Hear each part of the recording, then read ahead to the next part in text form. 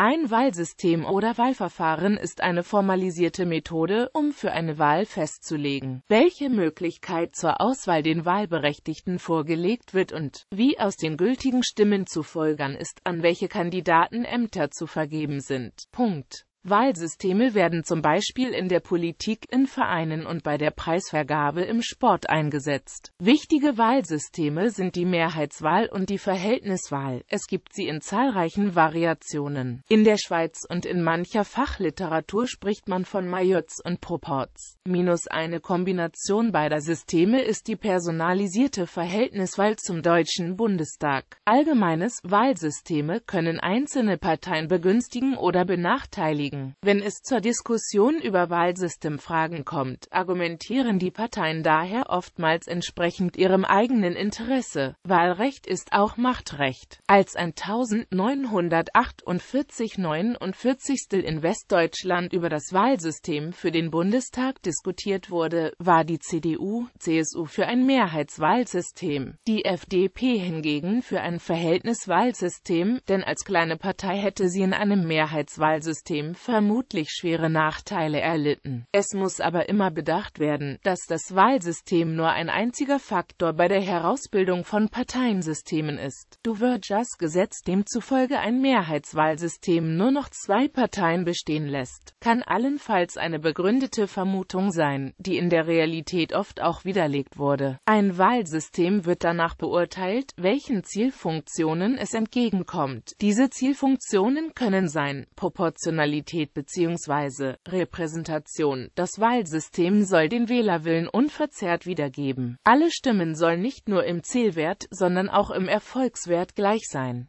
Konzentration bzw. Stabilität. Das Wahlsystem soll die Bildung einer stabilen Regierung über die Erzwingung der Mehrheit einer Partei sicherstellen. Die Wählerschaft soll so direkt über die Bildung der Regierung entscheiden können und nicht die Parteien in ihren Verhandlungen nach der Wahl. Einfachheit Ein System, das von den meisten Wählern nicht verstanden wird, kann zu Stimmabgaben führen, die dem Wählerwillen nicht entsprechen. Punkt. Vor allem die ersten beiden Zielfunktionen stehen im Widerspruch zueinander. In der Gesellschaft leben viele politische Ideen nebeneinander, die durch Parteien im Parlament repräsentiert werden wollen. Die dadurch entstandene Vielfalt der Parteien erschwert die Regierungsbildung. Die Mehrheitswahl entspricht der Zielfunktion stabiler Regierungsbildung, die Verhältniswahl der Repräsentation. Traditionell beschreibt man Wahlsysteme entweder als Mehrheitswahl, Verhältniswahl oder gemischtes System. Spricht man von Mehrheitswahl, meint man gemeinhin die relative Mehrheitswahl in einer Wahlkreisen, bei der Verhältniswahl die sogenannte reine Verhältniswahl.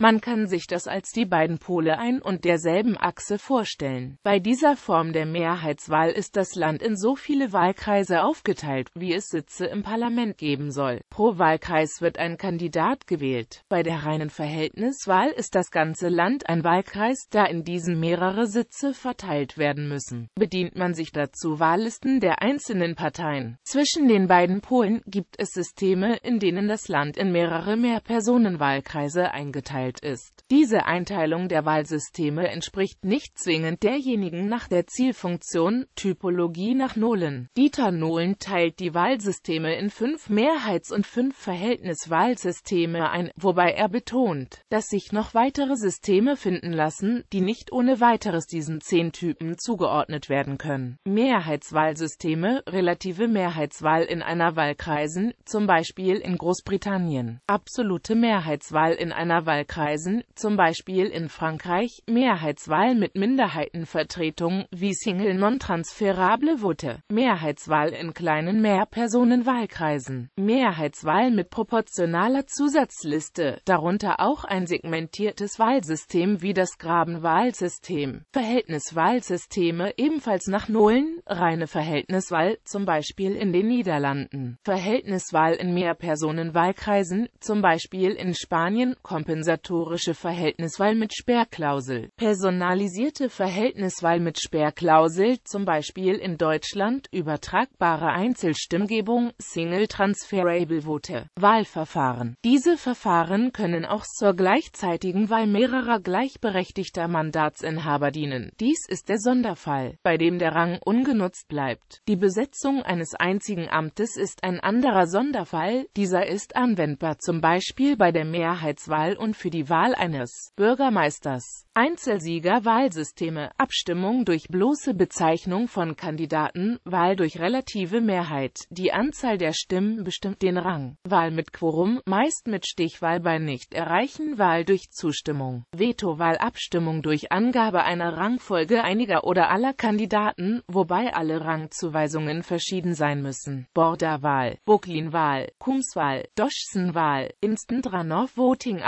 Abstimmung durch Angabe einer Rangfolge einiger oder aller Kandidaten, wobei Ränge für mehrere Kandidaten gleich sein dürfen. Keminuyang Wahlrang Pers-Schulze-Methode Abstimmung durch Angabe einer Bewertung oder Benotung einiger oder aller Kandidaten. Bewertungswahl Majority Judgment Wahlsysteme zur Zuteilung von mehreren Mandaten. Herr-Niemeyer-Verfahren Don't-Verfahren, äquivalent mit dem Hagenbach-Bischoff-Verfahren, Zartlage-Verfahren, Hill-Huntington-Verfahren, Dean-Verfahren, Adams-Verfahren, Penrose-Verfahren Doppelter Pukelsheim. Belege Ernst Gottfried Marenholz Alle Wähler sind gleich, einige bleiben gleicher. In FAZ, Net, 18. Mai 2011 abgerufen am 11. Dezember 2014.